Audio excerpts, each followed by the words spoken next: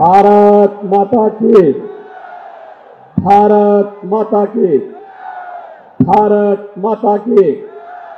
वंदे वंदे वंदे उत्तर प्रदेश सरकार के मंत्रिमंडल के मेरे वरिष्ठ सहयोगी, प्रदेश के नगर विकास और ऊर्जा के विभाग के मंत्री श्री अरविंद कुमार शर्मा जी सोहेल देव राजभर पार्टी के अध्यक्ष और प्रदेश सरकार में मंत्री श्री ओम प्रकाश राजभर जी, प्रदेश सरकार के मंत्री श्री दारा सिंह चौहान जी, माननीय सांसद आजमगढ़ और भोजपुरी के सुपरस्टार श्री दिनेश लाल यादव निरोवा जी, विधान परिषद के सदस्य यशवंत सिंह जी विक्रांत सिंह जी मान्य विधायक श्री रामविलास चौहान जी, भारतीय जनता पार्टी के क्षेत्रीय अध्यक्ष श्री सहजानंद राय जी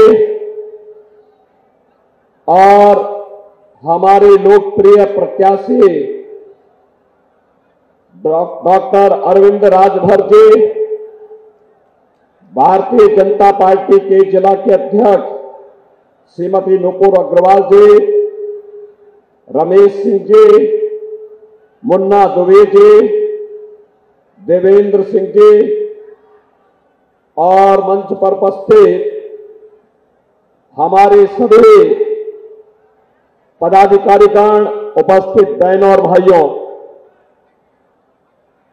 लोकसभा चुनाव के छह चरण पूरे हो चुके हैं। अंतिम और सातवें चरण में आज घोसी संसदीय सीट पर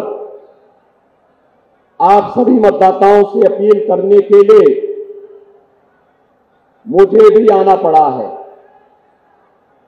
बहनों और भाइयों, पूरे देश के अंदर प्रधानमंत्री मोदी जी के समर्थन में जनता जनार्दन का जो आशीर्वाद प्राप्त हो रहा है, छह चरणों ने साबित कर दिया है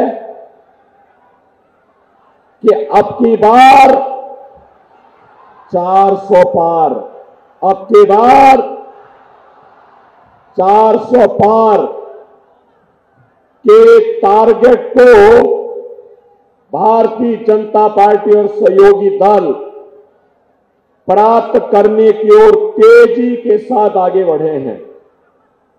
और उसी में घोसी संसदीय क्षेत्र के मतदाताओं का आशीर्वाद लेने के लिए आज ये मंच यहाँ पर आपके बीच उपस्थित है।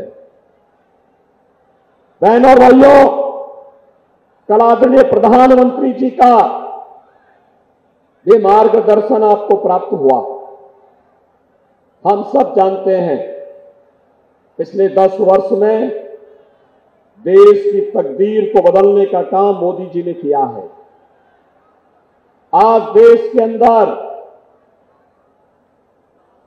सुरक्षा का जो बेहतर वातावरण है, मोदी जी के कारण देश का सम्मान बढ़ा है, मोदी जी के कारण। विकास के जो बड़े बड़े कार्य हो रहे हैं, हाईवे के रूप में, रेलवे के रूप में बड़े बड़े संस्थान बन रहे हैं, कई मेडिकल कॉलेज कहीं आईआईटी कहीं आईएम कहीं ट्रिपल आईटी कहीं एनआईटी, वो मोदी जी के कारण, और गरीबों के कल्याण के लिए भी, जो कार्य हुए हैं चाहे वह 80 करोड़ गरीबों को फ्री में राशन की सुविधा का उपलब्ध कराने का हो, चाहे वह 60 करोड़ गरीबों को पाँच लाख रुपए की आयुष्मान भारत की सुविधा देने का कार्य हो 12 करोड़ किसानों को किसान सम्मान निधि का कार्य हो, या फिर 12 करोड़ घरों में शौचालय के निर्माण का। बहनों और भाइयों, यह सब कार्य मोदी जी के नेतृत्व में हुआ है और मोदी जी ने कहा है कि 4 जून को जब फिर एक बार मोदी सरकार बनेगी तो 70 वर्ष से ऊपर के हरेक बुज़ुर्ग को प्रतिवर्ष पाँच लाख रुपए का आयुष्मान भारत की उपचार की सुविधा उपलब्ध करवाएँगे। चार करोड़ लोगों को मकान मिल गए हैं। बचे हुए गरीबों को भी मकान देने का काम करेंगे। बहन और भाइयों, एक तरफ़ भारतीय जनता पार्टी मोदी जी के नेतृत्व में गाँव के लिए, गरीब के लिए, दलित के लिए पिछड़ों के लिए, किसानों के लिए, युवाओं के लिए, महिलाओं के लिए नए नए कार्यक्रम किए हैं, उनको लेकर के आए हैं। और दूसरी ओर, कांग्रेस और समाजवादी पार्टी का इंडी गठबंधन है। बहन और भाइयों, जिसकी सोच ही नकारात्मक है। जो भगवान राम का भी विरोध करते हैं और भारत का भी विरोध करते हैं। दलितों का भी विरोध करते हैं, पिछड़ों के हकों में डकैती डालते हैं। बहन और भाइयों, इनकी घोषणा पत्र को अगर आप देखेंगे तो इनका घोषणा पत्र लगता है जैसे कोई मुस्लिम लीग का घोषणा पत्र हो। और इसीलिए आज मैं आपके बीच आया हूँ। समाजवादी पार्टी और कांग्रेस का घोषणा पत्र कहता है, बहनों भाइयों, इनका घोषणा पत्र कहता है कि अगर कांग्रेस नेतृत्व की सरकार बनी तो वहाँ आरक्षण का लाभ मुसलमानों को भी देने का काम करेंगे। बहनों और भाइयों क्या पिछड़ी जाति के और अनुसूचित जाति के आरक्षण में कांग्रेस और समाजवादी पार्टी को सेंध लगाने की छूट देंगे क्या आप? मैं जानना चाहता हूँ, क्या आप सेंध लगाने की छूट देंगे?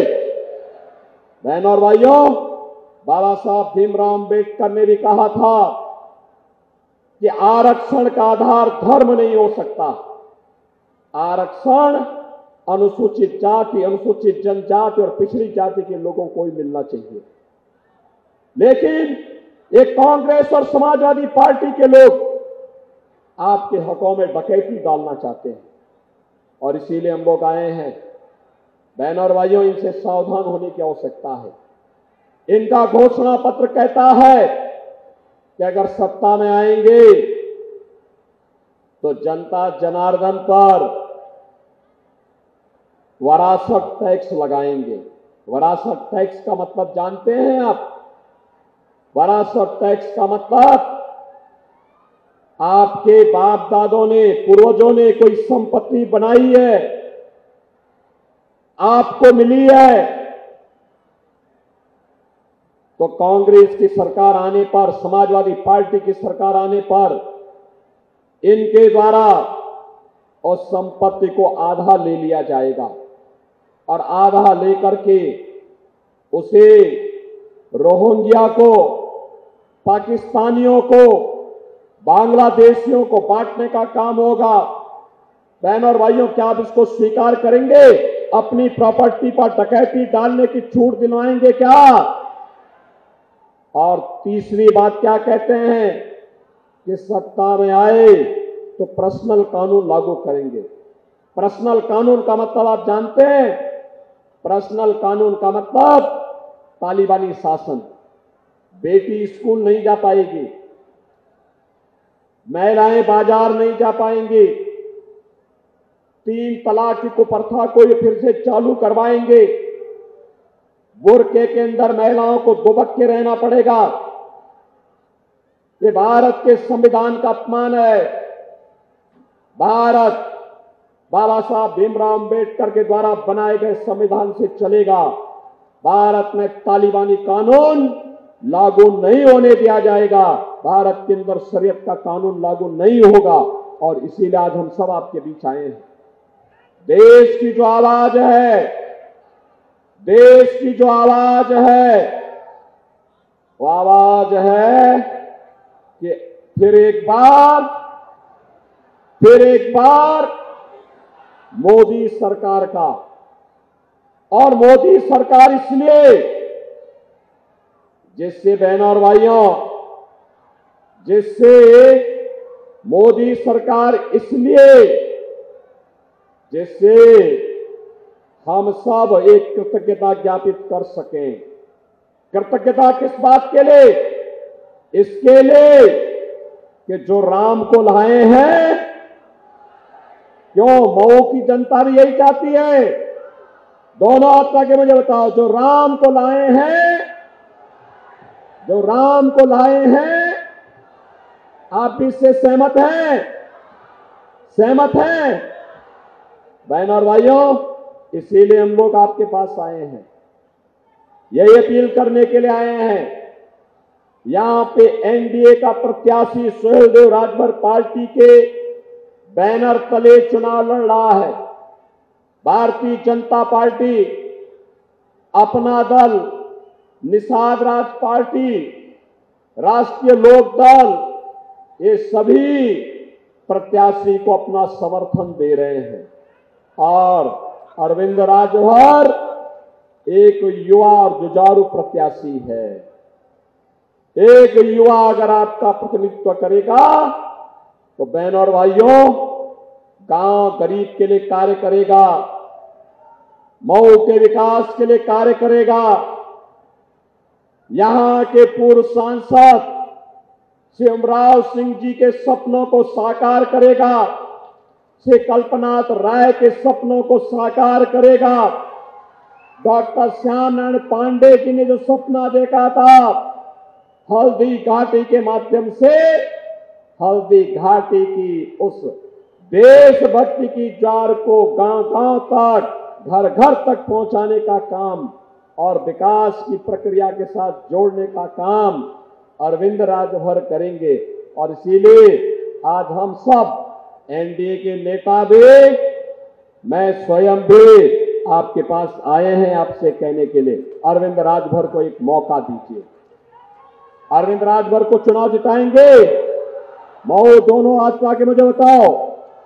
दोनों हाथ पा करके, जहाँ तक मेरी आवाज़ जा रही है, इधर इधर भी इधर भी, दोनों हाथ पा करके, चुनाव जीत के अरविंद राजभर जाएँगे जाएँगे।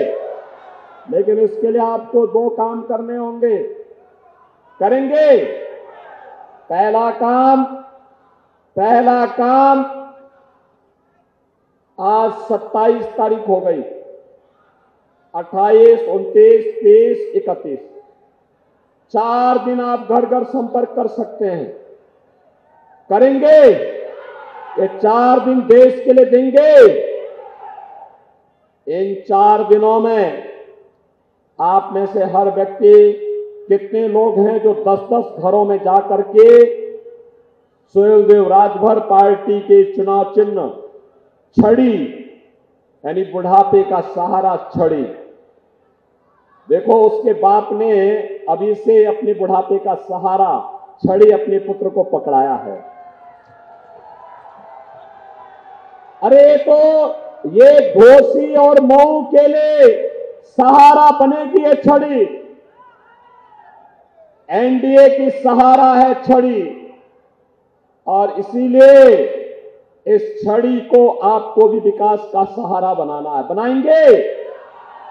इसके लिए आप में से हर व्यक्ति प्रतिदिन कल से लेकर के 31 मई तक घर घर जाना है। जाएँगे? जाएँगे। दस दस घर में जाकर के चार दिनों में चालीस घर और पहली जून को पहली जून को उन चालीस घरों में लगभग डेढ़ सौ से दो सौ मतदाता होंगे। उन मतदाताओं को मतदान कराना है। कराएँगे? कराएँगे। एनडीए के प्रत्याशी अरविंद राजभर को भारी बहुमत से विजयी बनाएँगे। अरे दोनों हाथ लाके बोलो भाई, क्या सब मऊ के अंदर आज भी आप भयभीत हो रहे हैं क्या? मऊ के दंगों की तरह भयभीत हो रहे हैं क्या आज भी? अरे माफिया सब मिट्टी में मिल गए, अब माफिया मुफिया कुछ नहीं बचाया। मैं केवल आपसे कहने के लिए आया हूँ। अब तो आपको उछल कूद करके चिता के चिता यहाँ से भेजना चाहिए। भेजना चाहिए। भेजेंगे? दोनों आपका के मुझे बताओ? आवाज़ इतनी आनी चाहिए। देखो, मैं 200 सभा करने के बाद मेरी आवाज़ जितनी तेज है, आपकी उससे भी आधी है। आप मुझे बताओ, अरविंद राजभर भारी बहुमत से विजयी बनकर के जाएँगे? जाएँगे। छड़ी चुनाव चिन्ह पर घोषी से एनडीए के प्रत्याशी को विजयी बना के भेजेंगे। लेकिन इसके लिए दो शर्तें आपके सामने करेंगे इसके अनुसार कार्य। तो फिर मेरे साथ बोलेंगे, भारत माता की, भारत माता की, भारत माता की, जय श्री राम जय जय श्री राम जय श्री राम